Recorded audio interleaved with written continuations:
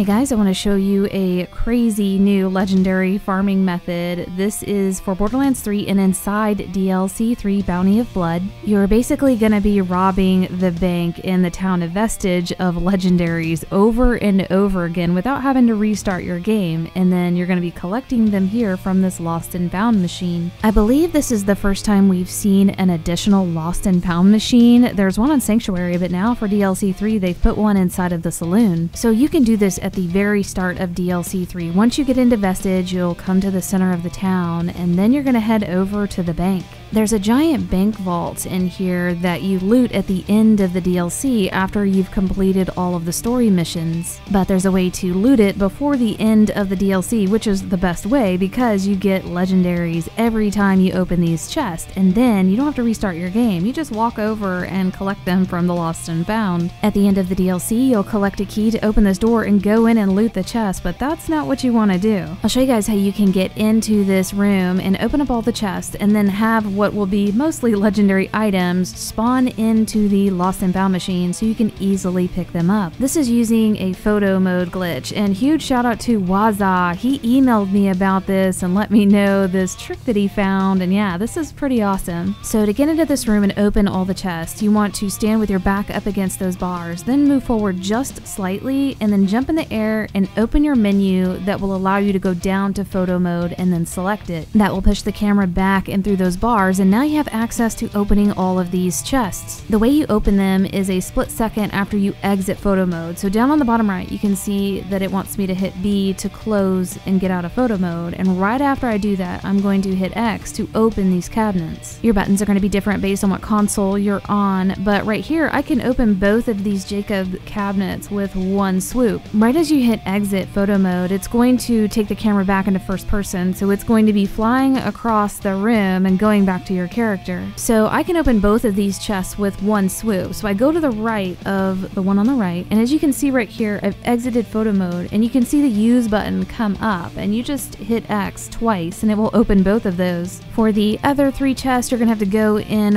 one at a time, but you can see right there, yeah, I just opened both of those, and both of them produce legendary. So same thing, go up against the back of the bars, move forward a little, and then go into photo mode. It will push you through into the room. Same thing, go over and hover above this chest exit photo mode, and for a split second, you'll see the use button. You can hit X and it will open. I'll finish doing it for the other two. And for the middle chest, this allows you to farm the new Dakota shotgun that is fully automatic. It's pretty awesome, and I'm working on a really good build for this one. At the end of the DLC, you open this to get the Dakota, and you only get one of them, but this method allows you to farm it over and over again, so you can pick and choose which anointment you like. So once you have all of these open, I've seen some people go back in here and actually pick up the weapon, but I found that really tricky and tedious and time consuming. There's a much easier way to pick up all of these weapons. You want to send them over to the Lost and Found, and the way you do that is open up your menu and go into Mayhem mode, and then change the modifiers and re-roll them. And once you do, you want to apply them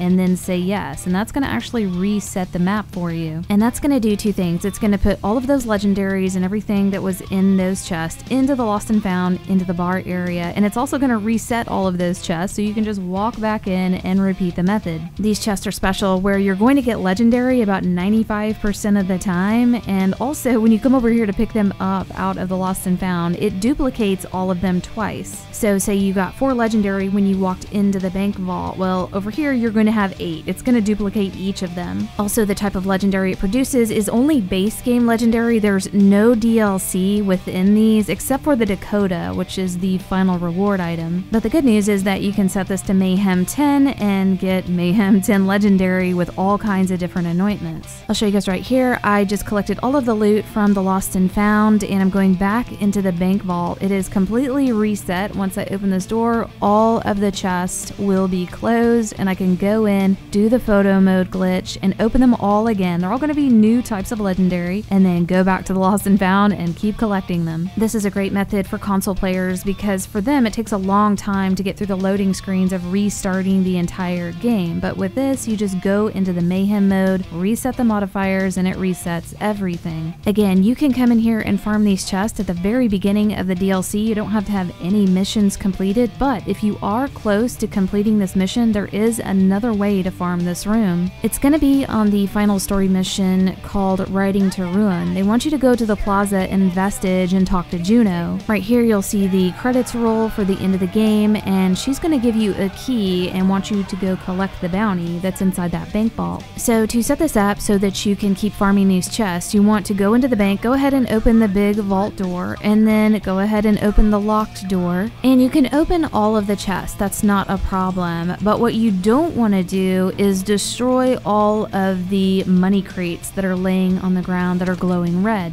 If you leave at least one of those, then you're going to be able to open the two tall Jakobs lockers over and over again. Once you open that center chest, that's going to be gone. That Jakobs chest will be gone, and so will that one. But these two tall Jakobs cabinets will respawn over and over again, and they will give you mostly legendary. So right here, I'm going to break most of these cash crates, but again, just leave one of them. If you destroy all of them and open all the crates, then it's going to complete this mission, and that's what you don't want. If you complete this mission, then all of the chests and even those lockers will be removed from this room. So right here, I'm just going to leave this one, and it might be better just to leave more than one just for safety in case you accidentally do break one or two. Right here, I'm going to restart the game. It's going to spawn you back at the saloon, which is not too far away. You can run back in here. This door is going to be open. You can see that one cash crate left, and the two tall lockers will still be there. And a big shout out to Cameron. He emailed me about this trick, and this could be helpful for people that are close to the end of the DLC and don't want to have to mess with photo mode. But I hope this helped you guys out, and we'll see you next video.